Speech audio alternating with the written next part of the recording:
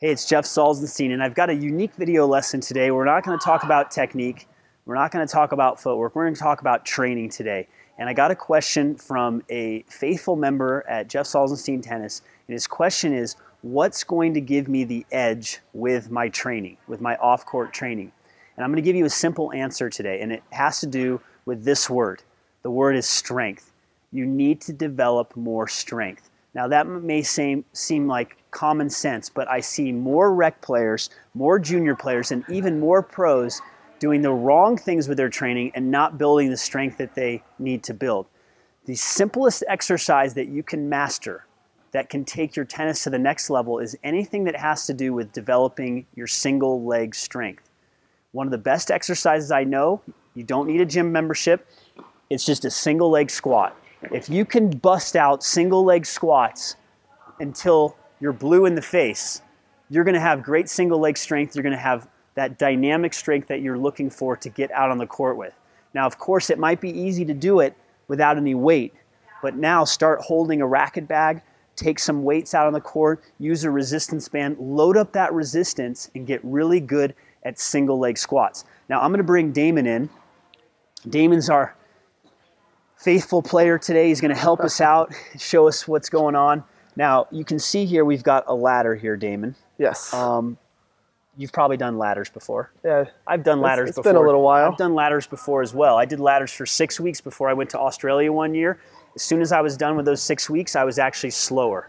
Now, other people might be getting faster with the ladder, but I have a theory behind it. Why don't you go ahead and run through the ladder for me? All right. Let's see here. See here, yeah, there he goes. He's quick. Look at those feet. He's quick.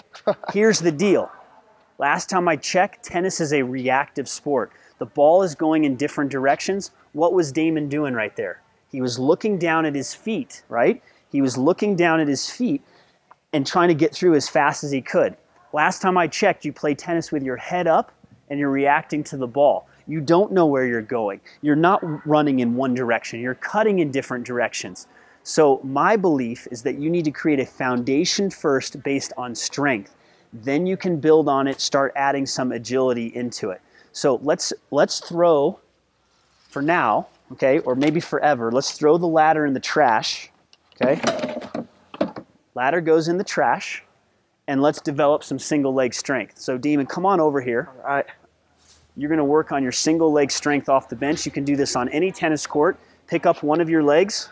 Good. Brace your core and go up strong. Yes. Straighten your bottom foot out. Oh, this one. Okay. There you go. And then make sure your knee stays over your second toe. Good. Sit down. Good. Now he's doing a more advanced version where he's going back down on that foot. That's great. So this time, come on up. Put this foot down. Now sit. This is an easier version. There you go. Put the foot down. Good. Again. Good. Let's look down at your foot again and let's try to, yeah, straighten it and try to keep this foot. Yep, there you go. Keep this knee out over your second toe.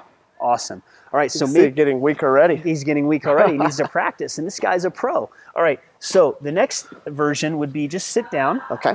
and I want you to push off. Use your hands to push off. That's an e- even easier version. So you're actually getting help. Okay, you're getting help from your hands. That starts to get easy. We can always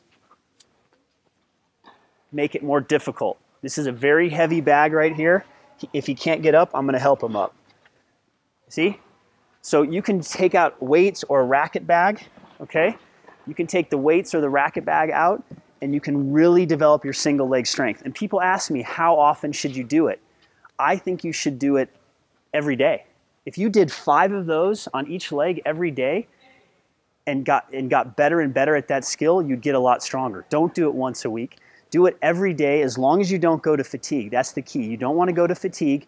Strength is a skill. Develop the skill just like you develop your serve, and you're going to notice huge improvements in your single leg strength. I really hope you received a ton of value from this lesson today so you can go take action on the court as soon as possible. If you want to see more in depth breakdown of this lesson and many others, make sure to join us inside the Total Tennis Training Inner Circle, where you can get cutting edge tennis tips and strategies that can fix your weaknesses and improve your strengths.